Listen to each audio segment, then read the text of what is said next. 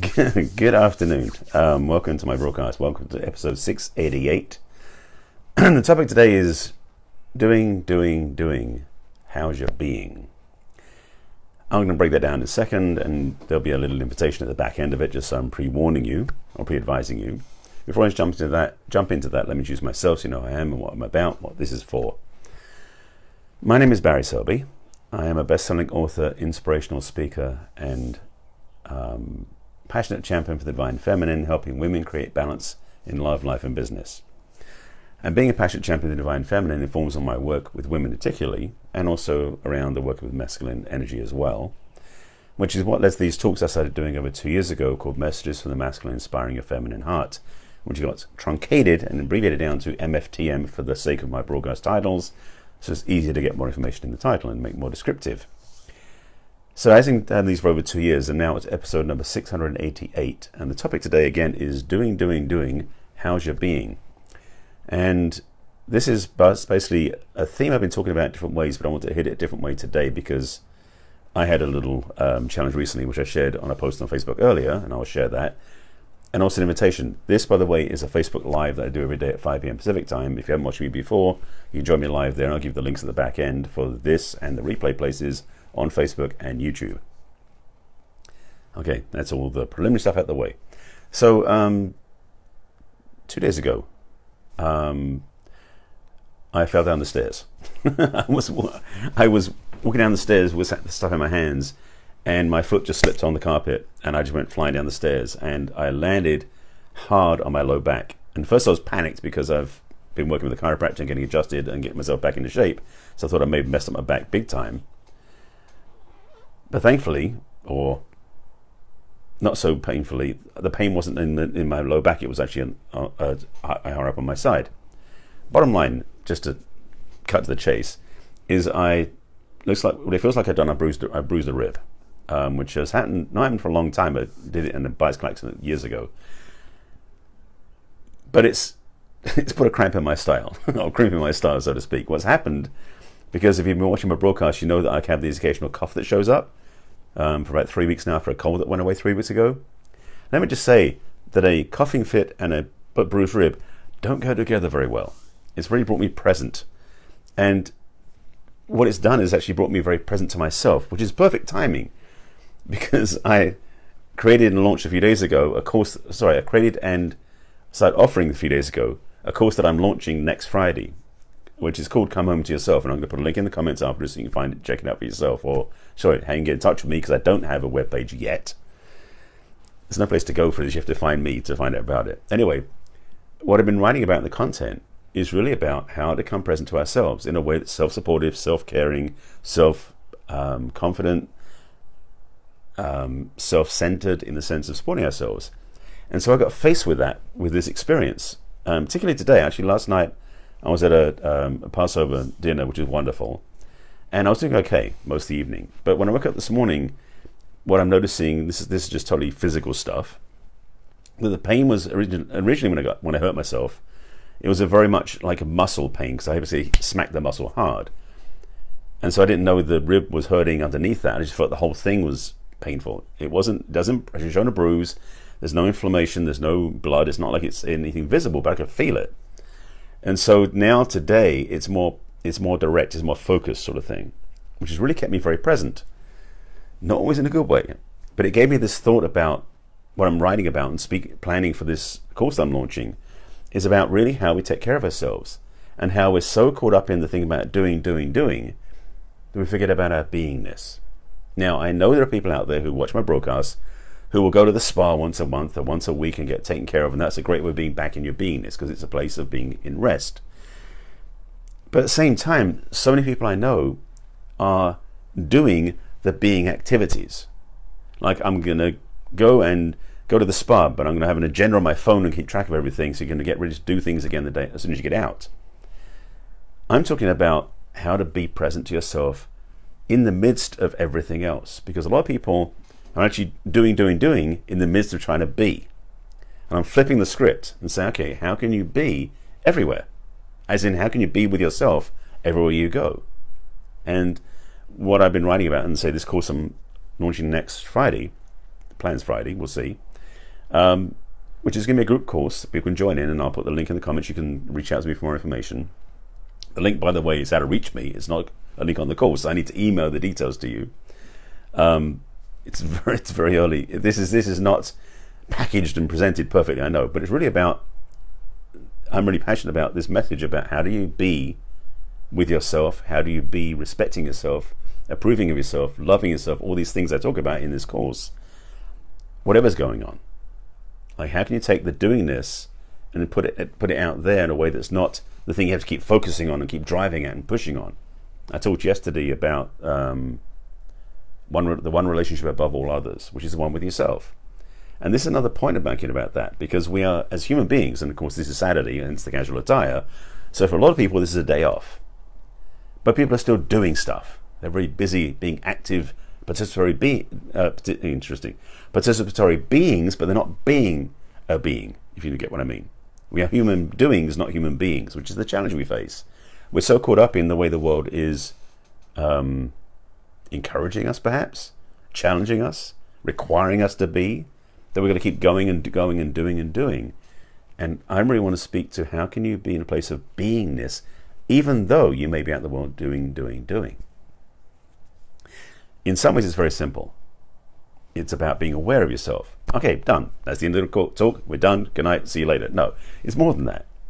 Because the truth is that awareness, first for most people, including myself, is in the self awareness to be present to ourselves and aware of what's happening, is not automatic 24 7. It takes practice. And also, it's so easy to get, I won't say distracted, but pulled into other focuses, which is why we get caught up in the doingness. You know, we, we look at the clock and go, oh, I need to be somewhere. I've got to pack up and get our stuff out of here and go and run, run around do things, which is part of life's challenges sometimes. But the thing is, what happens for a lot of people is they drop the beingness and they move into doing right away. And that for me is a well, I say it's a shame, but it's also dysfunctional in a way because what happens is when we get caught up in the doingness out in the world all the time, we lose track of who we are. And it actually takes time. We have to actually take a moment take a breath and stop and go, oh, I'm here.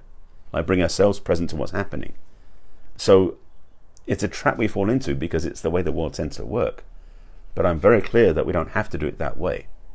So I'm just thinking about how some housing teach you. So, so the key thing again is how do you bring your beingness into everything you do versus doing, doing, doing, and then remembering to be in the middle of that. Yes, it's great that you do remember to be at moments, but how can you have a place of connection to yourself and remembering who you are everywhere you go and everything you do? That that is probably one of the biggest gifts you can have. So, how I want to say this is that I'm going to pick a few of the examples from the, from the coursework.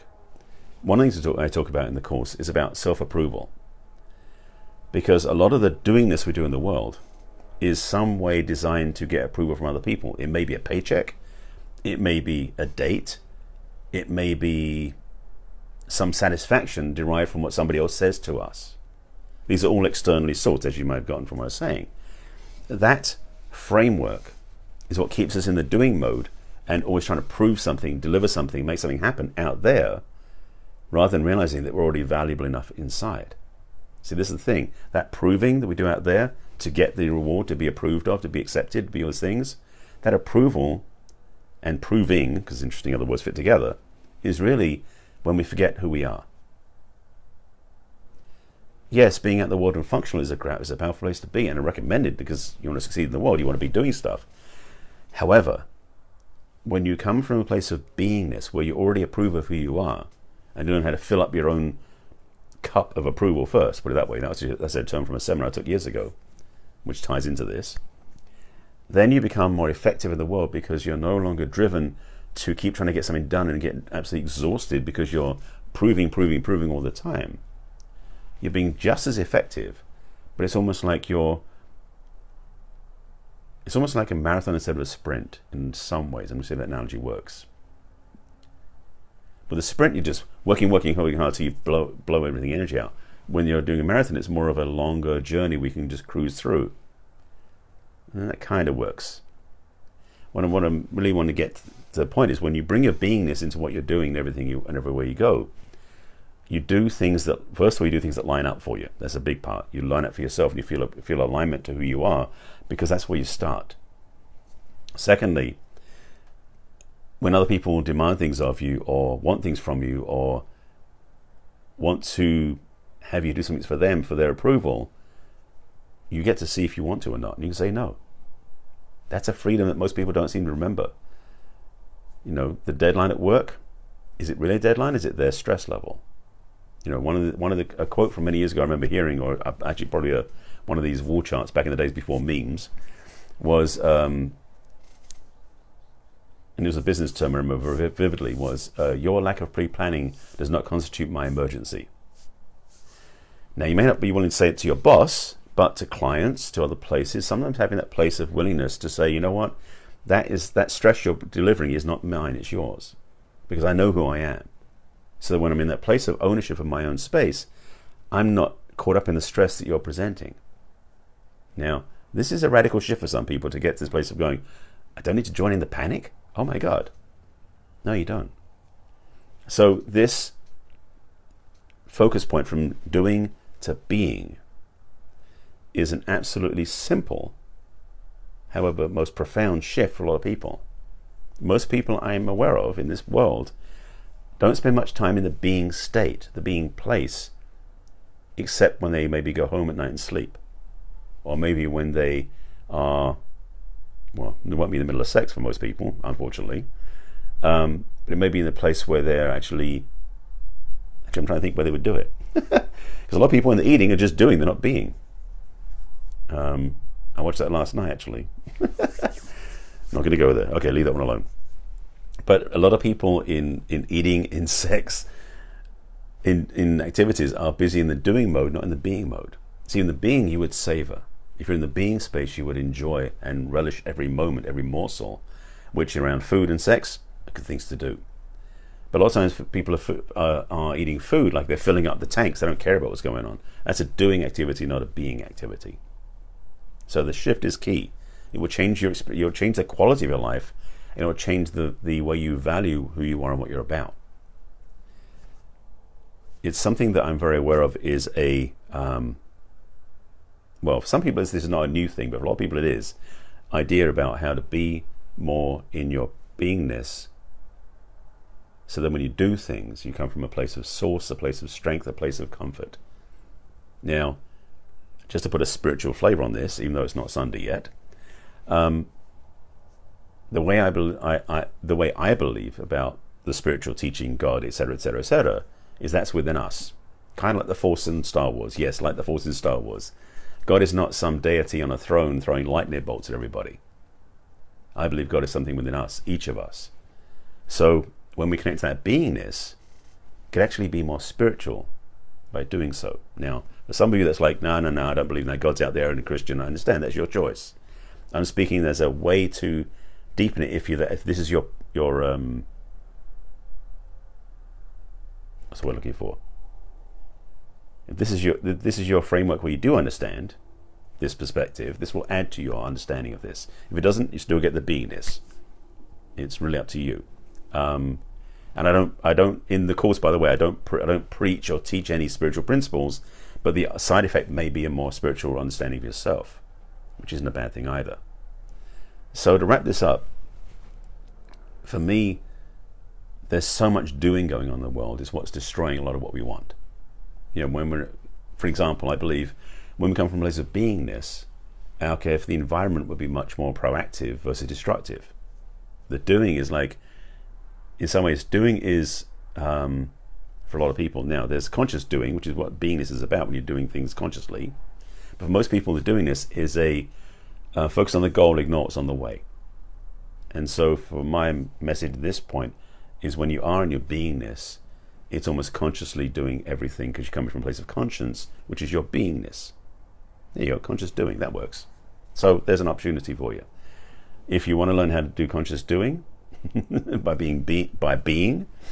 Um, I would put the link in the comments from my from my pro, my new course called "Come Home to Yourself," because that's what it's about. It's really coming home back inside to who you really are, and to really own and honor and respect the beingness that you are. And for some of you, you need this more than other people. I'm not saying who it is, I'm not putting names out there, but if you feel called to this, again, I'll put the link in the comments to contact me so you can find out more about it. Um, I think that's it. This is my Saturday broadcast, so it's a weekend edition, hence the casual attire. And so I guess I should say happy Passover for yesterday and happy Easter to, for tomorrow for those people who celebrate, whichever one you celebrate. Um, I get to dip my toe in both. Um, and appreciate, and by the way, I appreciate all the love and and thank and and um, healing vibes people are sending me for my my uh, bruised rib because it it's been a doozy today. But I'm grateful I can sign off this broadcast and go take care of myself with some ice um, again. And uh, yeah, I'm having a quiet day today. Got a busy day today Got tomorrow at Agape because we've got a big Easter service coming up. So if you're in town, come into Agape. I will see you there. Um, with that, I thank you for watching. Again, put links in the comments for. Well, I'll put a link in the comments for the way to reach me, so you can find out more about the coming home to yourself uh, course that's starting next week, and also um, also put the self love practice in there because that's another thing people are doing, which is helping them as well.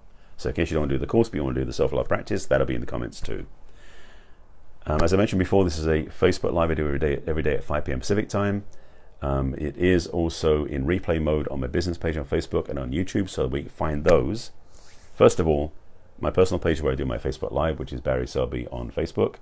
If you want to find my replays on my business page, that's barryselby.author.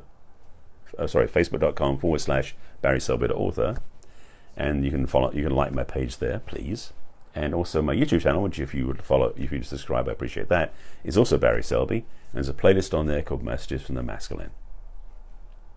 That, I think, will summarize it. Um, have a wonderful Saturday. Hope this has been of some benefit to you. If you have any questions, thoughts, or comments about this broadcast, please put them below in the comments and I'll respond when I sign off. If you want to share it with anybody you know who's been doing too much, feel free to do that. Um, this is just a little nudge and reminder and an invitation. So again, I'll put the link in the comments. You can reach out to me so I can send you the invitation to you directly. And uh, yeah, that'll do it. Thanks for watching. I'll see you again tomorrow. Take care. Bye.